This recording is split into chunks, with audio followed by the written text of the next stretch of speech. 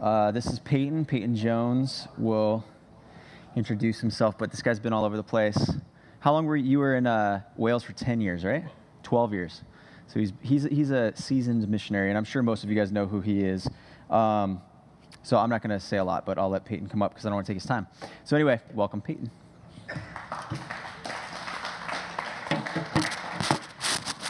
When you're ready, uh, just use this for recording. Okay. Uh, waiting for the video, just hit on click on it. Okay. Give it the high sign.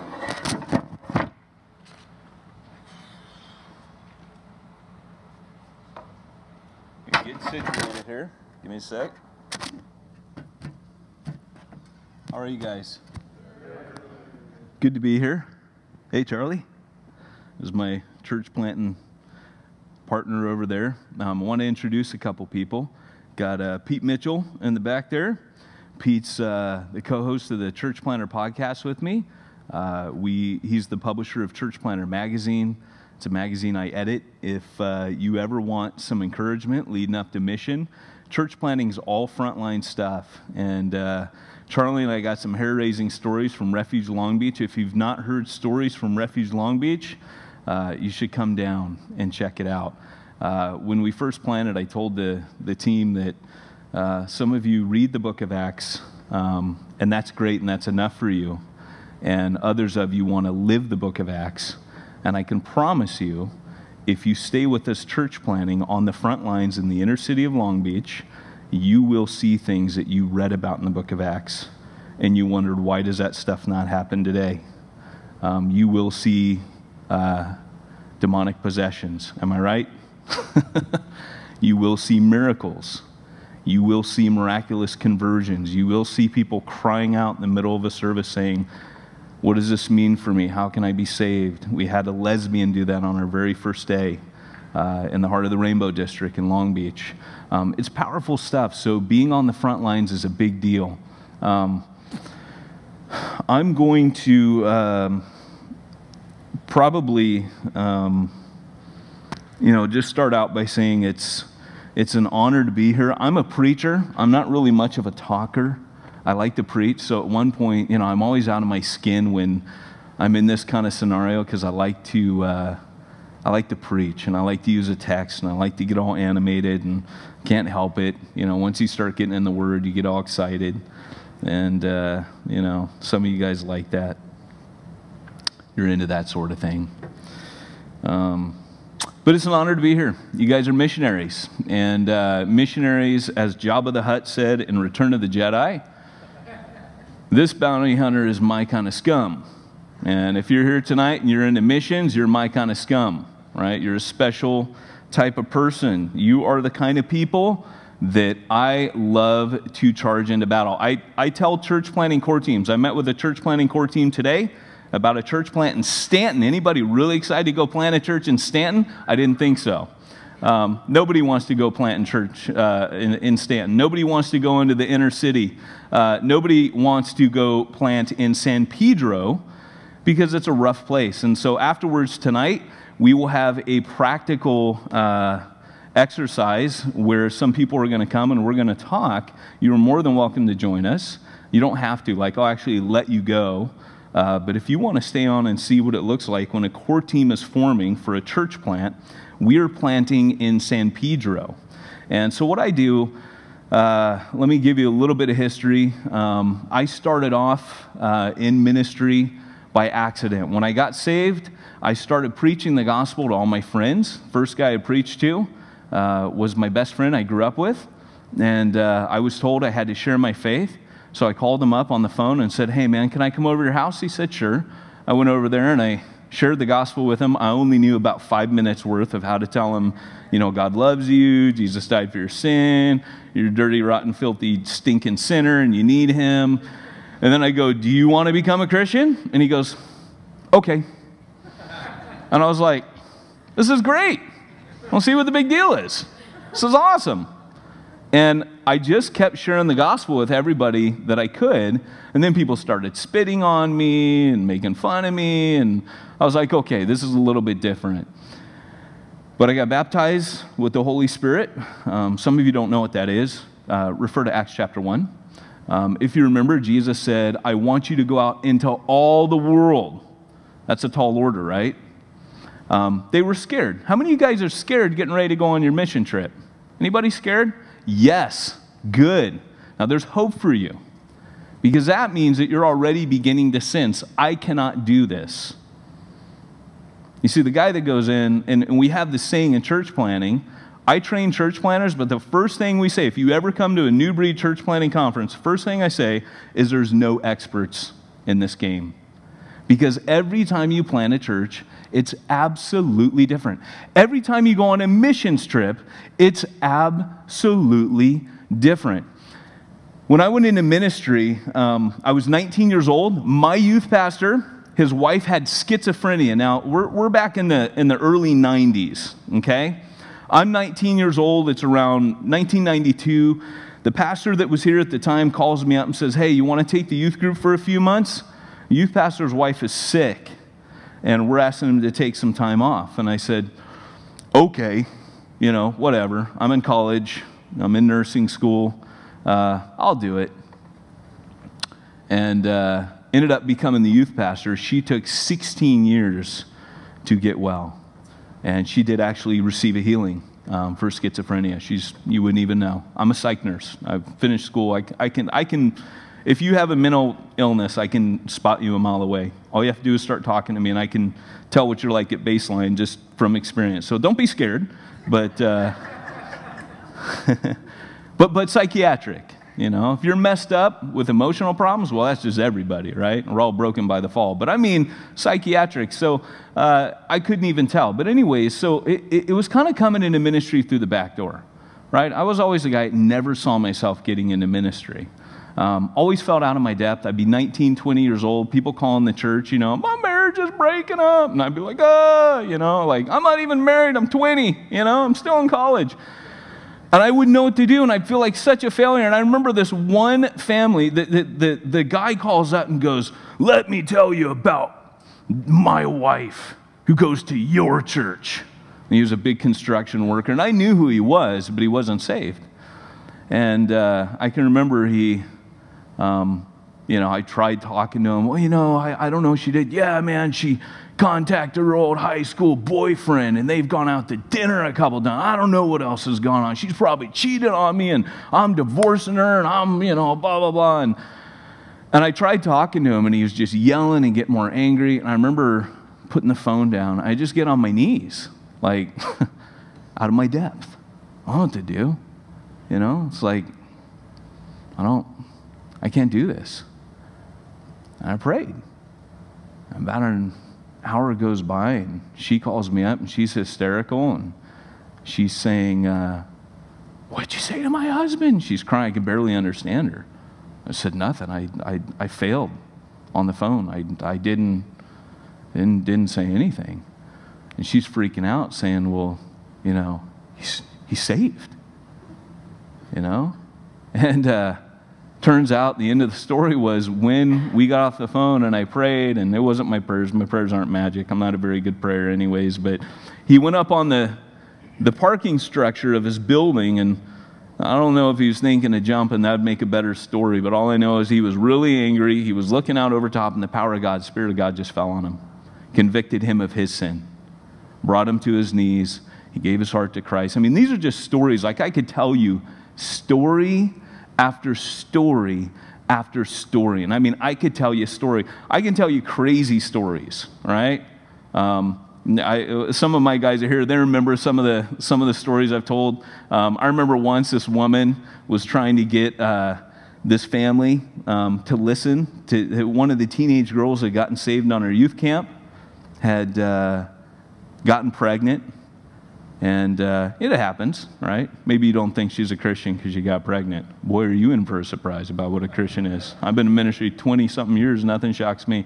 Here's the deal she ends up, uh, this, this friend, this high school girl's friend's mom comes over and tries talking to the parents. They're like, get out of here, we're calling the cops. We're taking her to get the abortion. And so she's out on the street corner and she's like, you know, if only God, if only I had a, a megaphone, you know, I could yell encouragement to her in her room. And some crazy guy from Beach Boulevard in Enger is out there preaching, yelling at cars, and he goes, bing. and he starts, whoa. And he starts like walking over. He literally, he comes uh, all the way through the neighborhood. It was over off of uh, Amazon. If you go in this neighborhood here, down Share through Amazon, there's a, a wall there that you have, there, and then there's a cul-de-sac. He hops it. She's literally like 15 minutes there, and she's hyster- She's called me, and I'm like at the church, and I'm doing stuff, and I'm saying, "Give me a little bit of time," you know, blah blah blah. And uh, she, you know, sees this guy hop over the wall with a megaphone. He's like, "What's going on?" And she's like, she like freaks out. You have a mega. Oh, by the way, if you don't know who I'm talking about, Chad Williams, Navy SEAL. Um, his mom. Oh, that's how I should reference it. So this is a real person, right? Chad Williams was in my youth group before he's a Navy SEAL. So this is Gina Williams, Chad Williams' mom, okay, back when they went to this church years and years ago. So she goes, Oh, megaphone. And so when I show up, that dude, as soon as she uses the megaphone and yells all the encouragement and scriptures to the teenage girl inside who doesn't want to have abortion, wants to follow the Lord, the guy goes, I have to go. And he grabs his megaphone and hops over the wall. Guys, we are dealing with a supernatural God. Okay? When you are on frontline mission, God has a way of turning up. Now, you'll notice I don't have any tattoos because I'm addicted to something else right now. If I did have tattoos, it would be all the different churches that I've been a part of planting over the years. That's what I would get tattooed with. Because more addicting than anything else I can possibly think of is being a part of a startup work when the Holy Spirit turns up in a community, there's no Christians, all the chips are down, and it's like God has to turn up. And that's where I was for 12 years in Wales. I was always out of my depth. God always had to turn up at the 11th hour and do something I didn't expect, and I never became an expert. So, if this is your first missionary experience, guess what? You are in for an incredible adventure. And I got good news for you. God has a way of bypassing the experts and picking guys like Gideon who are scared, picking boys like David to run at giants, right? Picking Timothy's who have to be told.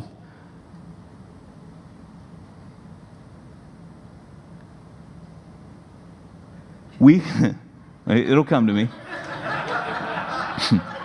Sounded so good, I was like setting it up. it, it came to me, thank you. For God did not give us a spirit of fear, but love, power, and a sound mind. You love people? Boom. Got the Holy Spirit in you. Even if you don't love people, let the Holy Spirit love people through you. Any of you, I tell my guys all the time, anyone here hate people? Anyone hate people? You're not going to be honest, are you? You're like, oh, I love people. You liars. You hate people. I've been out there on the road with you. It's true, isn't it? We all want to pretend, oh, I love people because I'm a Christian.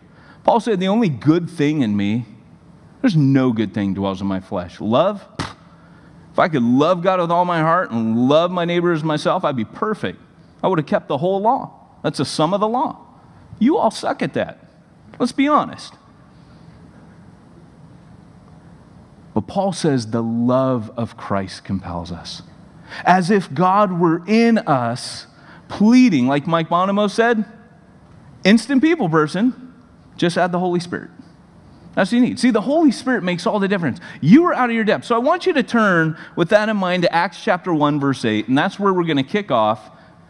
Acts chapter 1, and we're talking about teams, mission teams, mission support teams. Jesus handpicked and hand trained his mission team for three years. You could not picture a more prepared team a better equipped team. I mean, they had already seen the dead raised, they had cast out demons, they had done all kinds of cool stuff that you've only read about. And Jesus tells them, Go out into all the world preaching the gospel. And then in Acts chapter 1, he tells them, Go But wait, you're not ready. You need something. Acts chapter 1, verse 8. Somebody read that out loud for me. But you shall receive power when the Holy Spirit has come upon you, and you shall be witnesses to me in Jerusalem, and in all Judea and Samaria, and to the end of the earth. Okay. You shall receive what? Power. Power.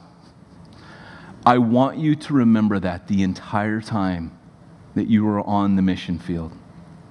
I want you to be asking, like Gideon, where is this God that our fathers told us about? You're studying missionaries like E. Stanley Jones, Amy Carmichael, J. Hudson Taylor.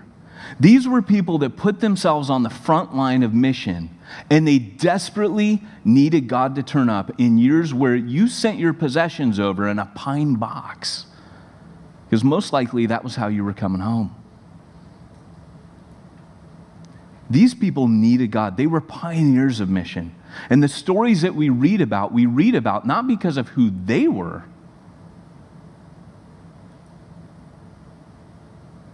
but because of who God was and because of who God still is. And the God who is the same yesterday, today, and forever will continue to be that God in a few months when you go out there. You see, we have tamed Christianity in the West. Let me just say to you if any of you have kids that don't go to church anymore, I'm going to tell you why. Because Christianity doesn't make sense if you're not on mission. It doesn't make sense apart from mission. We turn Christianity into a gathering, almost like a religious country club. Now, this church is a mission sending church, that's why you're here. This is an awesome turnout for a church of this size. Right? You know, January, this is all about missions. Pastor Bill, when he came here, said, I am not going to pastor you, I am going to equip you as missionaries. I'm going to fulfill Ephesians chapter 4. I'm going to equip you to go out and change the world. And Pastor Bill loved nothing more than to get all of your butts out of these pews and get them out in the mission field, correct? That's the sense you get. He loves you, but he wants to see you leave. Not because you're mad to go to another church, because you're so filled with the love and joy of the Lord that you need to go out where man has never gone and boldly go there, like James T. Kirk, not for the Starship Enterprise, but for Jesus, and go out there and share the gospel. Here's the deal. He starts off and he says, starting with Jerusalem, you'll receive power from on high, and starting in Jerusalem, that was Pentecost. Boom! Suddenly, 3,000 men, not counting women and children, saved. Then it spreads out to Judea, then Samaria, then to the ends of the earth. Okay? So wherever you start, that's where you need. So the first question is Are you on mission? See, eh, eh, like I said, Christianity doesn't make sense apart from mission. Um, Jesus tells him to go. He tells him to wait, but he tells him to go, right? We all want what happens in Acts chapter 2. We want to go. We don't want to do what he says to do in Acts chapter 1 seek me, wait on me, get close to me, pray, seek power from on high. You're not ready, you're not equipped. That's what they learned those few days. And then when the power came, it wasn't that they learned, it was everyone around them learned. Whoa, what's going on here, right? Because you can attract a crowd, right? It's not hard to attract a crowd. There's lots of uh, seminars and stuff that teach pastors how to attract crowds and all that kind of stuff. And you got to send this kind of flyer out to the community, and you got to do this, and you got to have that, and then you got to give bicycles away when they come, and then you got to. That's when man attracts a crowd, and that's cool. If that's how you get them in to hear the gospel, that's cool. But Acts chapter 1 and 2 is about how God attracts a crowd. How God attracts a crowd is He does something to you that is so radical and so different that when you go out there, there is a pulling power. Just like when people follow Jesus, and Isaiah pro- prophesies about him and says, There was nothing comely or attractive. There was no way, reason that we should have been drawn to him. But what was it? He was baptized with the Holy Spirit from day one. And that's what makes a difference. What infuriates me and frustrates me is it's like we're, we're, we're, sometimes we lose sight of the most basic tenets of the scripture is God delights in using ordinary people because he is an extraordinary God. It's not the vessel, It's what's filling the vessel, right? When you go out and you get a really cool beverage, you don't go, whoa, this glass must be really special because this stuff tastes awesome. You go, man, what is this in here? What is this inside of here? This is awesome. You don't even think about the container, amen? You don't even think about it. Whenever you drink a beverage, you never even, oh, look at the fine craftsmanship on that mug. Look at that. Will you look at that? You're so into what you're drinking, that's what you're focused on. That's what we're talking about. So when you go out into the world, there's this power that you are taking with you. You're being sent out in power. So I'm going to move on because I'm supposed to talk about teams. I'm getting on my hobby horses there. But I believe that the church right now is suffering from not knowing what it's supposed to do. Are we supposed to gather? No. We're supposed to go to places where they don't gather. Make sense? You see, youth, if you got them busy, here's a, when I was a youth pastor, if you get them busy on mission, suddenly Christianity clicks. I remember when I was a youth pastor, right? And we would have these trips, and we would take like eight people. I'm, I'm just here to tell you, you're going to be changed when you go on this trip. It changes you. It opens, suddenly Christianity makes sense. Because a lot of people were sitting in church bored. This is boring. La, la, la, la, la. I sing my song, and then I listen to a sermon, and then whatever afterwards, you know, um, small talk and co- coffee and donuts and cool. And I'm bored. Is that all there is? Is that it? Really?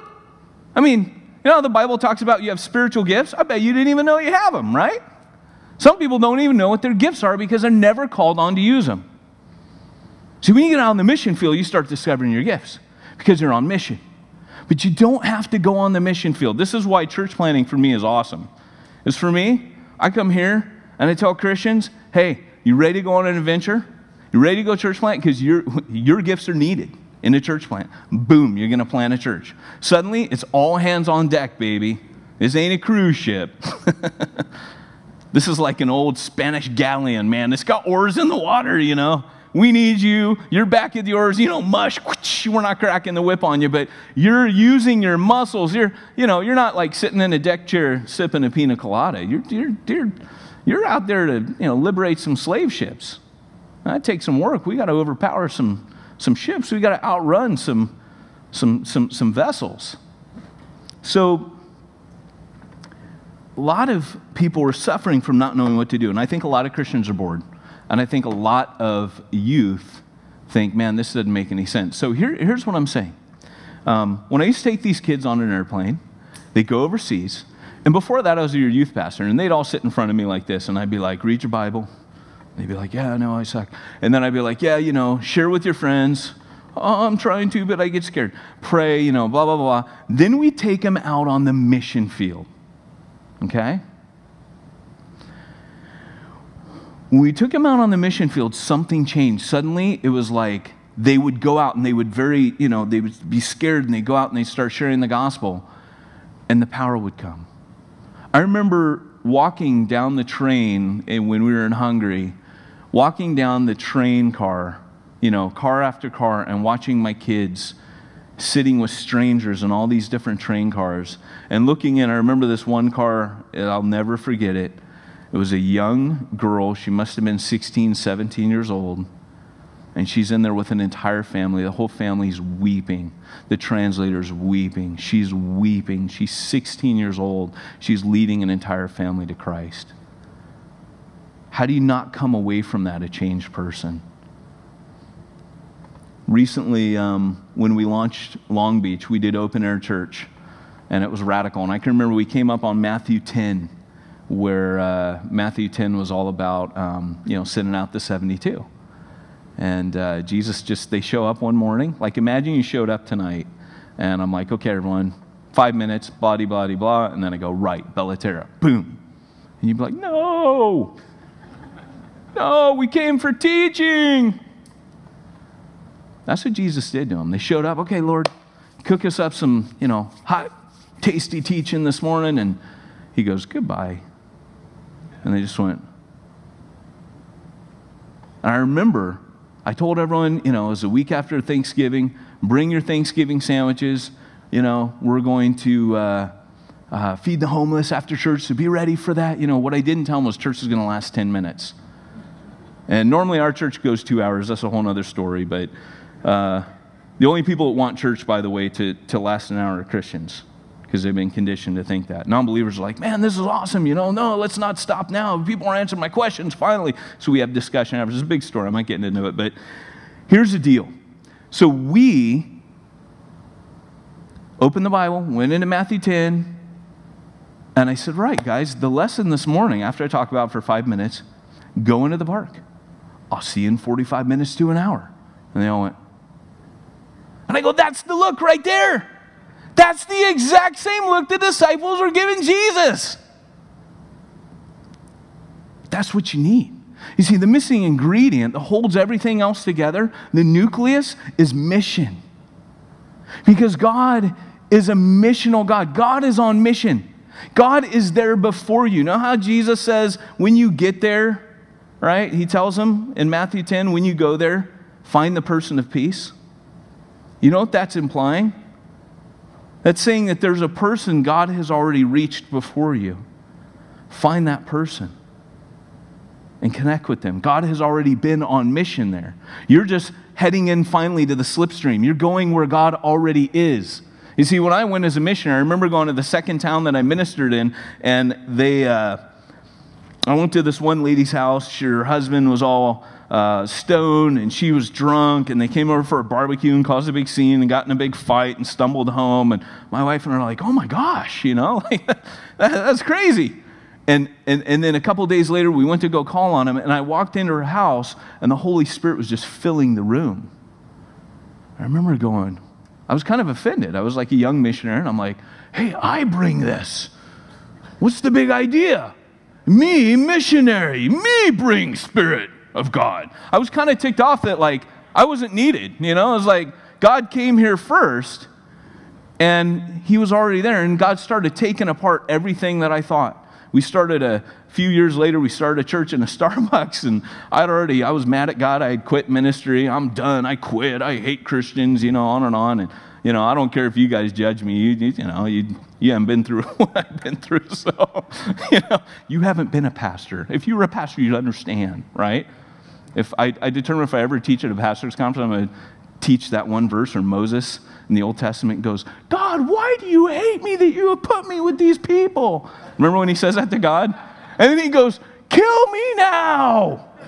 That's the perfect text. Every pastor knows. Oh, man, thank you. That ministered to me so much. But, uh, but I was so mad because I was tired of like fighting through Christians, and all traditional church here and stuff. And, anyways, I go into a Starbucks and the Spirit just turns up. He was already there. 30 non believers. We started a church. Long story, not going there. But here's the deal Christ sets the trajectory in Acts chapter 1, verse 8. He says, Look, when the Spirit comes, He's going to do something to you, He's going to propel you outwards. The trajectory is always out, right? Go out. So, mission is a thing most people are just like, like Francis Chan says, right? They're like, Lord, it says go in here, but, you know, uh, we're, we're, we're, we're going to study that a little bit more. And he says, What would it be like if like my, I told my daughter to clean her room? I said, Go clean your room. And they go, You know, come back in a little while. Did you clean your room? No, Dad, but I thought about it a little bit, you know. Thought about it, thought about what you meant when you said that. And in fact, Dad, what's going to happen is we're going to have some of my friends come over and um, we're going to talk about what it actually means in the Greek to clean your room. And then we're going to have a little discussion group and a Bible study that meets every week that talks about what it looks like uh, if we actually did go. And then we're going to apply it to our lives.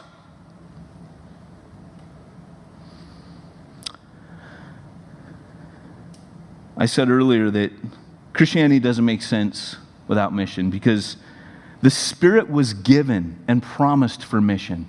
If you understand anything about Acts chapter 1, the Spirit was promised for mission. Remember the Great Commission? At the end of Matthew, what does he say? Go into all the world, and I will be with you. The connection of the presence of God, the power of God, is always in connection to mission. So I served with a, a Pentecostal guy, um, one of the church plants. Uh, he, he, he used to always say, Why are you asking for the Holy Spirit if you're not going to do anything? God doesn't give you more of the Holy Spirit if you're not going to go. Why would He? You could just like hang out and no, he gives it in connection. That's where power comes from. So you step out in faith and boom, that's where the promise comes in for power. Amen? Amen. Some of you guys are going to be in situations where things just happen because you went. Gifts suddenly, oh, I didn't know I could prophesy. When I, I don't have a raging gift of prophecy. But if I'm talking to unsaved people, particularly really belligerent ones, there was one case of a demon possessed one in Refuge Long Beach. Um, that's where it busts out. You know, a prophecy, boom. And some of you guys are like, oh my gosh, that's weird. That's like Bible stuff. We don't do that anymore.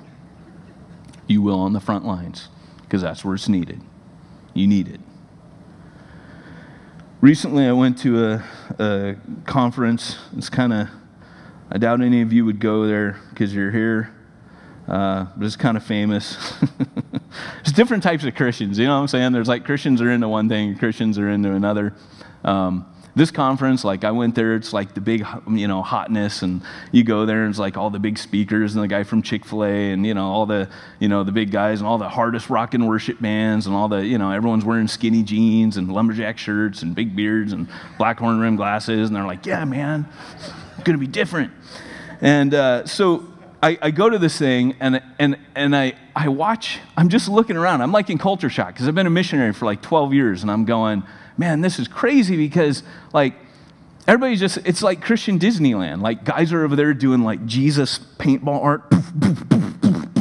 and they're like painting like something and at the end someone's going to make a picture out of it how god spoke to them and it's weird and everyone takes turns and then there were a bunch of people in the ball pits like adults like swimming in ball pits, and then there were like trampolines and Ferris wheels, and Christians going wee, you know, on these Ferris wheels. And I just I remember walking around going, this is weird. This is supposed to be like the next generation, like you know, look out world, here they come, they're riding Ferris wheels and shooting paintball, you know. Look out world, you know, and I'm, I'm just thinking like, man, like I don't get it, you know? And, and, and I remember walking around going, that's because they've substituted fun for adventure. They substituted fun. You see, Christianity is meant to be an adventure.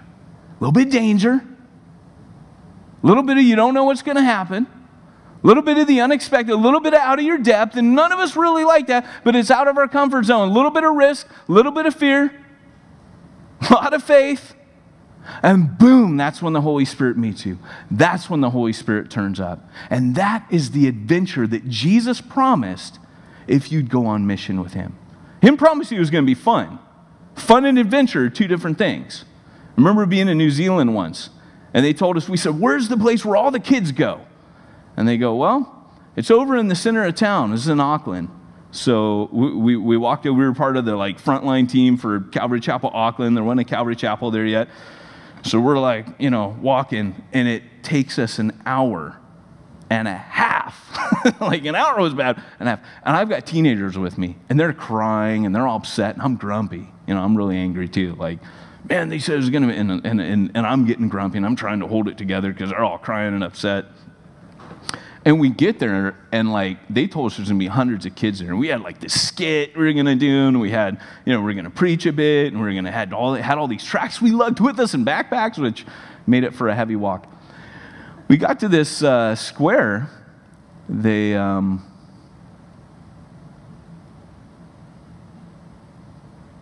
there was no one there. I was mad.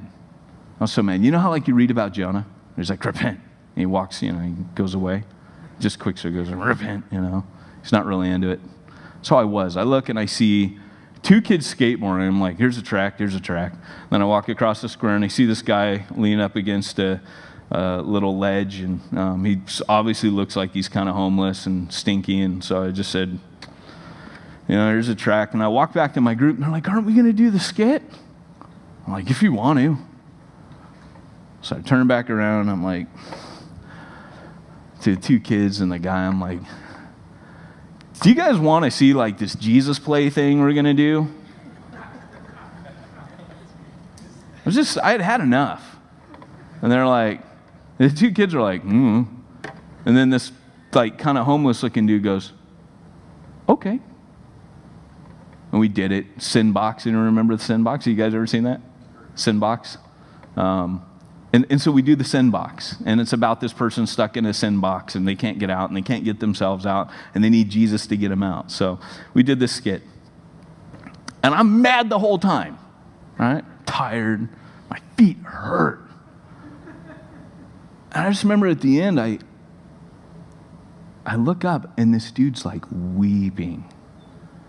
And I'm like, whoa, you know, nothing to do with me. And uh,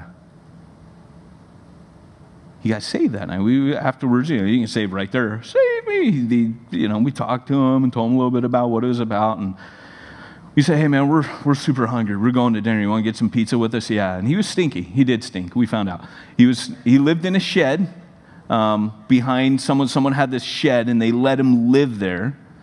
And um, he said, "You know, all I have is the clothes on my back. I have cigarettes." Um, and, and I got these matches, and he goes, and in the shed is gasoline. And tonight, I was going to pour it all over myself and burn myself after I got really drunk. Within six months, that dude was a deacon. And the next year, he was on leadership there. You just never know what the Lord's going to do. That's a supernatural God who will go before you and who will go with you. And I'm telling you these stories because I want you to understand, like Paul says, treasure in jars of clay. It's a spirit in you, it's nothing else. So when we come tonight and we talk about teams, I just want to um, kind of encourage you that, that no one person is going to be all that. Okay? So when you're going, you're, you're going to, they're not all that, and you're not going to be all that. Okay? Uh, I serve, by the way, I, I take Ephesians 4 literally. So when I plan a church, I'm not like the dude, right? I serve with a team. I, I, believe that there's a mix of teams in the New Testament. There's guys who are shepherds, there's guys who's teachers, there's guys who's evangelists, there's guys who are more prophetic. They walk in the supernatural. If you're uncomfortable with that thing, you're in the wrong church because Calvary Chapel believes in that. You can go on calvarychapel.com right now and read a, an argument about that in response to Strange Fire. And then I believe, which is, oh, I'm going to plug my book. Shameless plug. Um, Church Zero, you can go to churchzero.com and download the first chapter, by the way. Cha-ching! There it is. Hold it up. High and proud, Dan. Church Zero. That's what it looks like churches are. I didn't design the cover. It's uh, Church Zero. You grab it at Barnes & Noble. It's a real book, you know. It actually was published by a real publisher, David C. Cook. Um, you can grab it online. You go to churchzero.com, and it's all about what I just said about Ephesians 4 and going on mission and a blah, blah, blah, blah. But here's the deal. Um, in that book, I talk about the fact that, and this is going to sound crazy to you, but please understand me, that there are guys like me who are church planters right? I'm a serial church planter. If I strike once, I'm going to strike again. I like to call myself a church planting ninja because it just sounds cool. But I don't stay in one place. So some of you guys would have heard about Refuge Long Beach. Charlie and I planted that together. Those ugly people with us in the back, they were with us, um, except for Melissa. She's not ugly. But the rest of us, eh. So we all planted. Now Charlie uh, has gone on to plant Whittier, Impact Whittier. So um, what we do, and, and, tonight we're having a group about, you know, Ruben there, we're going to talk about him leading a team into San Pedro. So that's what we're always doing. I, people always used to ask, what do you do? And I say, I used to give this big long explanation. I finally learned to say, you know what Paul does in the New Testament? That's what I do. I preach the gospel in hard to reach places. I raise up leadership and then I get the heck out of Dodge. And it's weird that that's strange today when that's what the apostles did. And so when you see the word apostle in the New Testament, um, it doesn't always mean like, you know, the 12. The 12 were special, right? They had superpowers and they wrote the Bible and all that stuff. But then there's guys that are just church planters. They're guys on the move, they move around. And so that was kind of, I came to understand because I would plant something and then I'd get bored and I'd be like, why am I bored? What's wrong with me? What's broken? And I realized that I really needed to go plant again. And so I realized that I'm not a pastor. I'm not the guy who stays in one spot. I am a church planter. And it, that's the word apostolos for missionary, right? Timothy's called that, by the way, so don't limit it to the 12. Titus is called apostolos. Apollos is called apostolos. That same word's used, but they're not the 12. The 12 were special, right? We all got that. No one's wearing pope hats. Got me? No superpowers here, folks. Just church planter. And so some of you guys are going to go out on this mission field and you're going to discover, wow, you know what? I have gifts that I've never used because I've never been called upon to use them. No one's ever asked me what my gifts are. No one's given me opportunity to use my gifts. What I've used is my butt, my ears, because that's how we set it up. Make sense? When you go on mission, you're going to use your hands, you're going to use your heart, you're going to use your mouth, you're going to use spiritual gifts. Things are going to be coming out of you that you never knew were there. And so, one of the things you're going to need is a home team. Okay, I'm not talking about playing away games or home games, but that could apply. Here's the deal you're going to have people who need to stay behind. Great pioneer missionary C.T. Studd said this I will go down into the deepest, darkest hole if you'll hold the rope.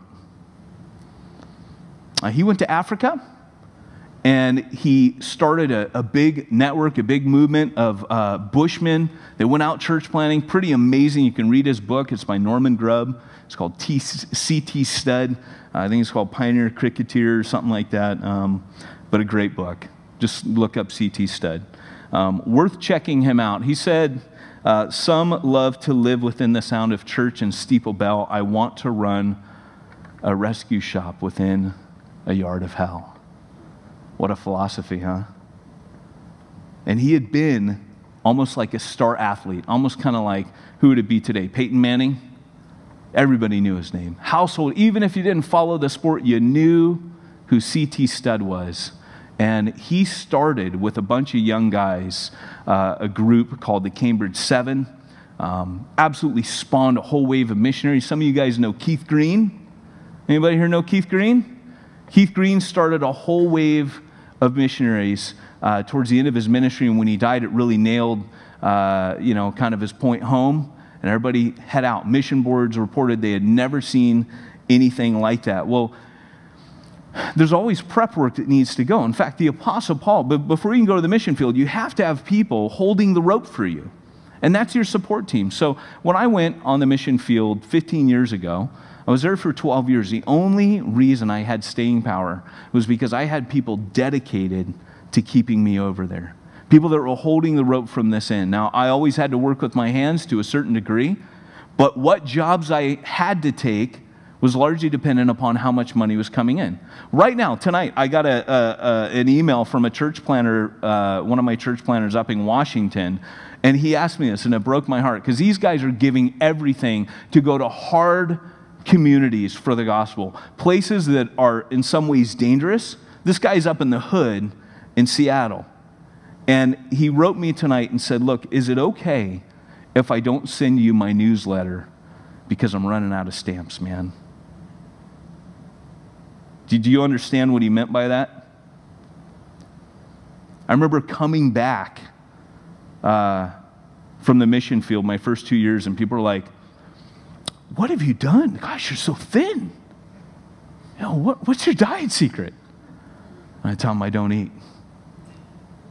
And they'd be like, ha, ha, ha, ha. And I'd be like, no, really, I don't eat. I lived for a year and a half on toast, eggs, and beans. And I prepped. I had full support when I left, but God had a little surprise up his sleeve for me. It was called 9 11, where all United States charities reported that there was an average of 50% decline in their giving after 9-11 because everybody's securities you know were in danger so they pulled everything back. But i went to work in a factory and that was great and i learned that probably the place where i belong is out amongst people more than anywhere else. That's where i started discovering my gifts. It's really strange how sometimes you're in ministry and you do so little ministry when you're in ministry you see, you will touch more people by Monday morning, 12 o'clock noon, lunchtime, than most pastors will in an entire week. Do you understand that? You are already on mission. You just maybe haven't realized it. When you start setting up a mission team, all, all that is, and maybe you're going to be people that start a mission team. Maybe you'll be the people that you go on the short term mission, you get a taste for it, and then you say, you know what, I'm not going to go overseas, but I still want to be on mission. So I got a fire lit in me. I don't want it to die. Oh, look, the Keenans. Or, oh, look, you know, boom, boom, boom. I remember sitting in a bar with Bob Keenan before he got saved. Don't be shocked. I was doing a wedding. And uh, he said to me, Peyton, will you go down to the bar with me? I said, sure. I didn't drink, so I had a Coke. I shared the gospel with him. He didn't get saved then. I can't take credit for Bob. Hey, when I led Bob Keenan to Christ, I, I can't do that. But the reality is, Bob Keenan needs a support team. He needs someone to hold the rope. He needs finances. If you see your missionaries coming back really skinny, you should probably go join their mission team. You know what I'm saying? Paul writes in a few different places in the scripture, he writes to the Romans that he would like them to help provide for his needs. And Roman, you can read it in Romans chapter 15. You can read about it in Philippians 4, where he writes to the Philippians and he says, Hey, I helped plant that church. Will you help propel me the rest of the way? And one of the things that, that missionaries really need is PR agents. So I, the, the, people that always come to mind in this church is uh, Debbie and Howard Oaks. Right? Like, who do they represent? Does anyone know? Anyone know? You always see them wearing the clothes when they dress up like Ali Baba? Huh? Do you go here? Yeah. It might, man. I don't know. I don't go here anymore. But they represent the Keenans. I know that just from, you know, shame on you. What do you guys do? Like blow out of here during the last worship song or something? You guys aren't real missionaries. But you need PR agents. You need people that are going to go, dude, you know what? I've been praying this newsletter, blah, blah, blah. Man, you got to read this thing. Pray for these guys. You need PR people, right? So when Bill's up here, what's he doing? He's going, hey, I want you to hear these guys from the underground church in China. I want you to hear. Bill's a PR agent, right? But you guys can be PR agents. You can be like out to dinner with your friends and say, you know what, let me tell you about this incredible guy. Let me tell you about this incredible missionary. You can start raising. So that's part of what a support team does. You, you join the rummage sale that's going to be on uh, tomorrow. You join, you, you actually get your hands dirty. You, you bake cookies, you do fundraisers, you do all that crazy stuff. You go visit them. You give them magazine subscriptions, all right? Newspaper subscriptions. You can get things like The Week in different countries. You can hear what's going on in different parts of the world. Um, so that's important. So let's talk before we close here. Um, one of the key things that they asked me to address tonight was communication. Because communication on a mission team, those of you that are actually going and not staying, uh, those of you that are going on the mission team, uh, you know communication breaks down. How many of you guys have perfect communication in your home? Anybody? Perfect communication with your kids? Perfect communication with your boss? Perfect communication with coworkers? Kind of worried about you guys. How are you guys going to preach the gospel to people? I'm not very good at this. Um, and of course, I'm teasing because communication is just one of those things, isn't it? Here's the deal. Um, on your communication uh, with your team, there's a couple things that you need to do uh, on a regular basis. You need to talk. You need to have a time to debrief almost everything in your day. You start off in the morning, you lay out the schedule. This is what we're going to do today. The worst mission teams ever is where everyone gets up and they go, Come on, guys, we got to leave at 8. Where are we going? We're going to a school. Right. Okay, so everyone's in a rush because no one's been communicated to. Then they head down to the school. Then they do whatever they're doing. They do the little play or whatever. Then it's like, Where are we in lunch? Uh, uh, you're on need to know basis. Boom, boom, boom. And then they tell them. The best mission teams is when everything's known in advance. Now, everything will change. Don't get me wrong. Right? Kind of like Eisenhower said, you know, before the battle, planning is everything after the battle starts, planning means nothing. But it's everything before the battle. So at the beginning of the day, what you need to make sure that your team is doing, and by the way, can I say this? Uh, this time around, Jesse's leading all of the mission teams. There's a reason for that because they're looking for emerging leaders to come out. Right? How Paul trained his mission team leaders was on mission. Hey, Timothy, Titus, come with me. They weren't ready. He took them and trained them on the job. And by the way, because we're Americans, got to say the leader does not emerge by being John Wayne. Listen up, pilgrim, you know, the can do attitude, the fake it till you make it. I got this, you know. That's not good luck with that on a mission team. Everything goes out the window, nothing goes according to plan, you're out of your depth. The way that Jesus said in a group of 12 guys, you become the servant. That's how you know your leader. He's a guy that will lay his life down, like Paul said about Timothy, for I have no one like him who will genuinely care for your needs. Right? He would say things like, receive him as you would receive me. Right? That's the guy. The guy that's consumed with the glory of Christ and the interests of others. Love God with all your heart and love your neighbors yourself. That's the guy who's going to be the leader. Amen? So, what you need to do is at the beginning of that day, the plan is laid out clearly. This is what we're doing. This is the agenda. This is where we're going to eat. Everybody's on the same team. So when all goes haywire, no one panics. Everyone's like, okay. And pray regularly. Don't just communicate with each other, communicate with God.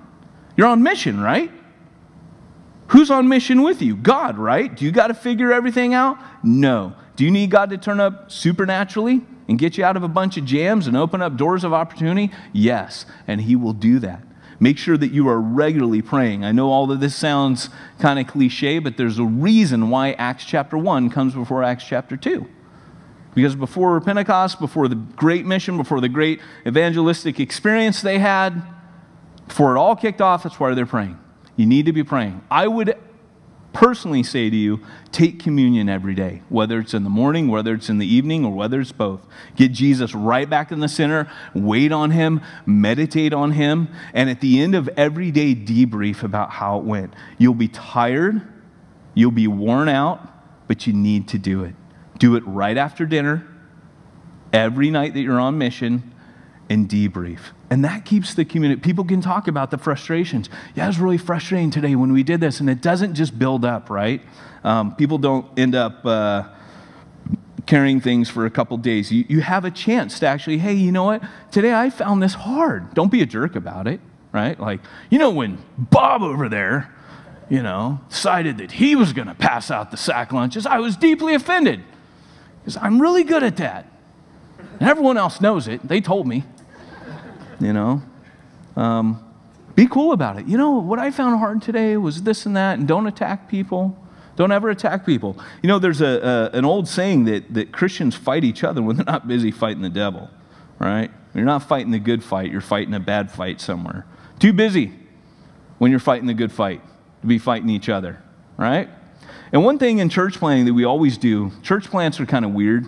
Um, church plants always, uh, people see it's kind of creepy. People see this little church plant and they're like, aha, there's a place for me to thrust my agenda on. It's a little small. The big church won't put up with me, but I can really thrust, you know, there's only a few people and they're probably easy to manipulate. And I can get in there with my agenda at the ground floor, at the ground level, and I can really push my thing on them. I've learned over the years at the very beginning of a church plant, you just, you just don't let anyone hijack it. You just say, you know what, guys, it's about two things here. It's about Jesus and it's about the lost. If you ain't about that, you need to take a hike because you ain't wired for church planting, right? You're, you're, there are churches that are into what you're into. I'm into emotional healing. That's all I'm about. Or I'm into Israel, and all I do is talk and think about Israel. Okay, there are churches like that, or end times prophecy, that are all into that just like you. You need to go there because we're going to have a work of the Spirit happening here, and you're going to jack it up. You know what I'm saying? Does that make sense? It's a little bit hard nosed, but you got to protect your mission team. You guys have to protect. If God is going on mission, God's not taking you to Haiti. He's not taking you to the Philippines so you can like go and talk about Israel and Bible prophecy. As much as you may love it, God is taking you over there to talk about Jesus, the gospel, his grace, his power, all uh, it's Jesus. That's it. That make sense? Jesus and the lost. That was agenda, for I labor to know nothing among you save Christ and Him crucified. So your team has to be focused on that. And then lastly, conflict. This is my last point. Um, they told me I could go till 8.30. I'm like, I'll be done in an hour. So um, here we go. Last point. Conflict. Um, obviously, you can understand by now if you were on a mission team with me, that would never happen. You would all love me naturally, and uh, you would, you know, never think of having conflict with me. Um, conflict is natural. Frustration is natural. One of the things that you need to learn is to be real. That's why I started off in the beginning. You know, you know what happens on mission teams when people don't actually understand the grace of God? Grace, by the way, for any church planting team or any mission or anything, has to, if you don't understand the grace of God, you need to go and read books on the grace of God. You need to go read books because the only way you're going to be able to be a purveyor of grace, of God's grace, is if you yourself are filled with God's grace. You have to understand the grace, right? Gospel centered life is, uh, I would start there personally. Read gospel centered life, uh, that doesn't straighten you out, you ain't saved, right? You need to get saved. Read it again, second time, you'll probably be saved by the end of that. It's all about God's grace. You need that, okay? Because what God's grace does, it allows you to be real. And why that's important is when you're on mission, you're going to be jet lagged. Some of you guys are going to be on a 26 hour flight. I don't care how sanctified I am how holy I think I am. You see me on the other end of a 26 hour flight, and it ain't gonna be pretty. There's a reason why Jesse said, We're gonna debrief for a couple days. Because we're not going to be any good to ourselves. Have you ever been so tired where you're stumbling around, you're trying to make coffee, and you're pouring like flour in the coffee maker, and you're like, ah, that's how you're going to be. Just know that, okay? You're going to be a complete and utter wreck who needs God's grace all over, scooping you up, filling you, surrounding you. You need God's grace. And so you're going to need to have God's grace with everyone else. And there's going to be days, remember, like I said, where I'm holding it together and we're marching to the other side of the town because nothing's going according to plan. Just got to learn to relax. Hopefully, your mission team will learn to laugh. I look at the Gospels and I see Jesus' mission team um, and I see humor all the way throughout with those guys, you know. Thomas called Didymus the twin. Hey, you look like Jesus. Here's twin. Here's twin. You know, they're picking on each other. Thaddeus, you know what Thaddeus means? Milk baby, child of the breast. Isn't that an awesome name to call your friend? Hey, milk baby. There comes the milk baby. John and James, Lord, those people will not listen. We must call fire down upon them. And Jesus just goes, From now on, you're Boanerges, right? You can just see, you don't get, I used to be a firefighter when I was in Wales for four years, right? It was one of my little tent making jobs. I'm telling you, I served with 20 guys in a station house. There's no way you're getting 12 guys together and not going to rip on each other and laugh and cut up the whole time. That's what men do. The military, it doesn't matter, pseudo military, it doesn't matter where you put men, you put a bunch of men together and it's no holds barred, right? So these 12 guys are traveling around. I guarantee you there was laughter. And what I see Jesus doing with that is he's easing tension. These guys are all upset and he gives them a funny name, Sons of Thunder, right? And call the, you know, and everyone has a laugh. Your team has to be able to laugh at itself. In order to be able to laugh at yourself, you got to not take yourself so dang seriously. But you got to learn to take God seriously. Take Him seriously. Don't take yourself so seriously. That's what grace does. Grace allows you that freedom to go, you know, hey, man, I really don't want to go out and share the gospel today. I'm pretty jacked up. How about you? And everyone's like, yeah, me too. Let's go seek the Lord, man. Whew, good. Because I really didn't want to fake it for the next 24 hours. You know what I'm saying? That was going to be really hard. I didn't think I could take anymore. Because you're at your limit on the mission field. You are at your limit. And you need to be able to be real. You need to be able to come boldly before the throne of grace and be able to receive mercy and help in your time of need. Does that make sense? So you just got to look at each other, grace, grace. You got to come together, take communion, remember God's grace, let it wash all over you every morning, every night. That's why I'm suggesting communion once a day, twice a day. Your team will have to decide. Get back before the cross every day. Every day. Don't let the cross get out of your sight, out of your mind. Your team needs that. And when there's conflict, and there will be conflict because you're not at your best, right? You ever notice how, like, have you ever done this? Like, you know, you're, you're like bickering with your wife about something completely stupid and you know it's just stupid and you're both tired and it doesn't really matter. Have you ever done that? Because you're like, no, what are you talking about? well, that's why. That's why. Who, who said that? All right, good man. She's like, uh huh. But you know it's because you're tired. So you're going to be on this mission team and you, there will be conflict. Even Paul and Barnabas, right? The famous story about Paul and Barnabas, and all the, theologians and commentators, oh, well, this would happen, this would happen. Well, no, I think this is what happened. All I know is the two guys spent enough time together to know what they're doing. They split off. The gospel went two separate directions. Hey, praise the Lord. That probably needed to happen. That started a chain reaction where Paul started grabbing more guys like Silas, and then he started discipling because he's thinking, hey, two is better than one. They worked it out in the end, anyways. You're going to have conflict. Don't worry about it. Doesn't mean your team has failed. Doesn't mean God's not with you. God was obviously with Barnabas, he was obviously with Paul. Okay? God used it. So when conflict comes, here's what I've learned A, don't take it so seriously. If you're having debrief, communicating anyways, it's going to be less likely to happen. If you need to have it out with somebody, do it in private. Don't ever do it in front of the group. I would also suggest if you've got something that, that is irritating you right then, you make a commitment later, later, later. Hold it in for then, wait till later, and say to the person, hey, I need to talk to you a little bit later if we can, okay? And pick an opportune time where everything's not all crazy and talk to them about it later, okay?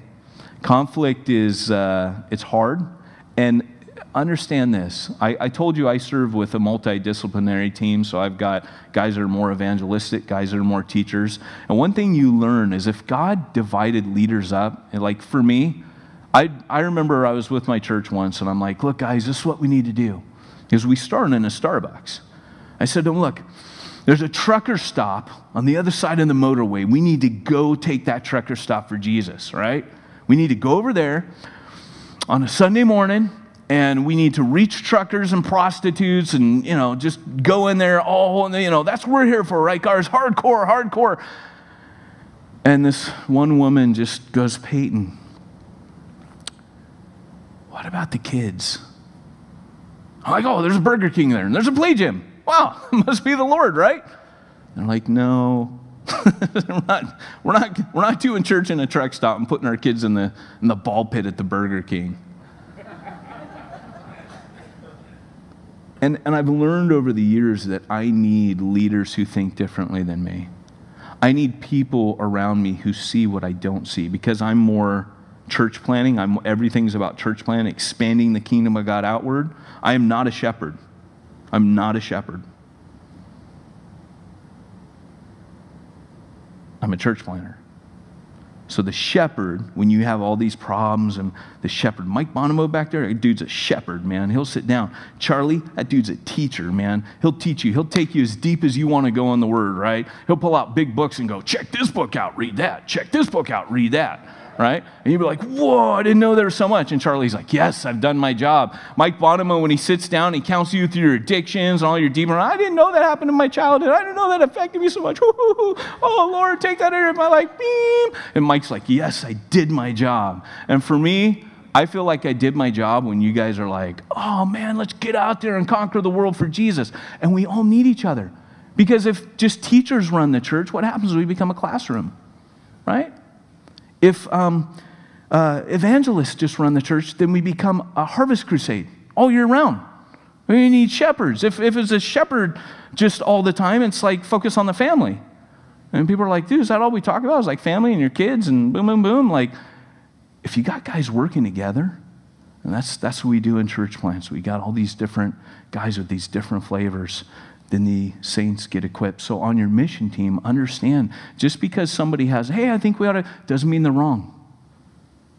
It means that they might be seeing something you don't see. And you know where I've learned? You, you think about it. I serve with a team of guys and we're all together, right? I don't have to be the big boss man. We all serve together. They'll tell you we serve on a team. We come together regularly. We talk. We pray about it.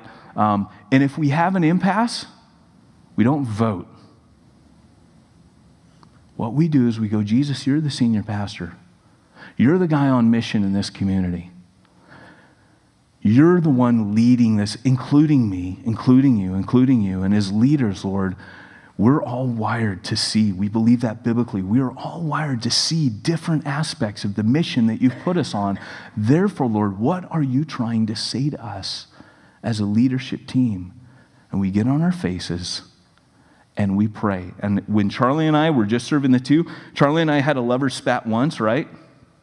Our little bromance. It was like not really, but we. I remember we got into it, and it was like the teacher coming, you know, and the uh, apostolic guy, and then most times, and, and including that time, almost always we'd be like, "It's not this way. It's not that way." there's a third way. It's what Jesus is saying through both of us. And if we got on our faces and we humbled ourselves, we'd hear what the Lord is saying through both of us. I believe God wants to lead in team. Church Zero, shameless plug, get at the back for $15.99. No, I'm just teasing. Cha-ching! That's all I got to say tonight. I hope that has helped you tonight. Um, I will take a couple of uh, questions before. Uh, we're going to play a little video um, for you. It's about church planting because obviously I am a missionary and uh, we got a video. We're going to try it out on you tonight. We've never shown it before. You are the first audience to ever see this. Is about New Breed Church Plant. I asked permission to show this. But uh, before that, are there any questions um, that you have from anything I've said? Um, yeah. questions to come. I really appreciate the focus on the Holy Spirit. You know, fully relied upon Him, asking to be empowered. That's awesome. And just going with that, walking in faith and not knowing what to expect, but just know you're there. Uh, brought you there. You're going to do that purpose. That's awesome. Thank you. Yeah. Yeah, rely on the Holy Spirit. You know, Charles Spurgeon, one of the greatest soul winners that ever lived, um, he would see people saved like crazy. And it was said that every time he walked up to the, to the pulpit, he'd say, I believe in the power of the Holy Spirit. I believe in the power of the Holy Spirit. I believe. And he would say it over and over and over because he needed it. And so when you're on mission, just keep thinking Acts chapter 1, Acts chapter 1, I need the Holy Spirit. You will receive power. Guys, sometimes it's when you're out there doing it. You step out in faith and the Holy Spirit comes then. That's when I experience it. I don't wait you know, Holy Spirit's already been given to the church. I go out, I step out now since the Holy Spirit's been given. I step out and I feel like He meets me after I take that step of faith. We've done everything in Long Beach from open air in the park, like I said, we told you uh, about some of the people. We've got transgender prostitutes. That makes people mad um, when they come to church, uh, Christians only. And we're like, okay, well, they're, they're not going to be with us. That's cool. Knows I'm not a shepherd. I'm like, Jesus and the lost. I don't care about them. There's other churches. Well, this person's the last stop for hell. So we're here for them, right? That's how I think about it. Um, uh, I need shepherds to pull me back, but uh, you know, but I need, they need me too. Does that make sense? Because they'd be like, let's just, you know, get everyone together and work out their problems, you know? And, and I'm like, no, we got to go out there because there's more people with problems. Do, do you see what I'm saying? So, uh, but yeah, it's reliance on the Holy Spirit. Any, any other questions? Yeah. The, um, the patience thing has been really a, word that's been kind of pumped into my, my life lately. And, uh 'cause cause I'm like, I wanna go, I wanna go. But, uh, now like, when I sign up for Haiti, you know, that's September, like, is that, how do I know I'm not rushing something? Like, I just, you know, as you're saying that, like, okay, I signed up for Haiti because I want to take steps of faith, but then, like, am I just gonna like, I mean, unless I get full confirmation not to go, do I just go for it? If you have a desire to go there because of the need, and Jesus has told you to go out into the world, I always tell people I think every single Christian ought to go on a short term mission. Now, I'm going to shock you here, but I think the Mormons got it right. Not, not on their theology mind, okay? Please bear with me. Um, but, but on their missiology. I, I personally think the fact that they send Christians, young, I mean, excuse me, the fact that they send young men and women out, um, yeah, that they send young men and women out one to two years and just say to them, we don't know what you can do the rest of your life. Like, I actually think they're outdoing us. I remember Walter Martin used to say, Are you doing for the truth what the cults are doing for a lie? Um, I don't understand why we don't promote go for a year, have a gap year, right? Um, we'll do it for like second. Oh, go live in Europe. It's awesome. It's amazing. Why not tell people to go do a gap year in the Philippines? Why not I tell them?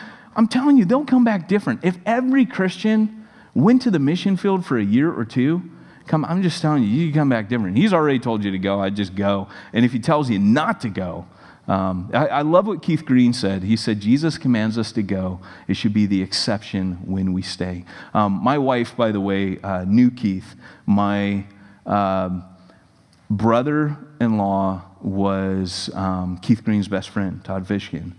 So my wife grew up, before I married my wife, she was in Thailand rescuing kids out of prostitution. She's more hardcore than I am, right?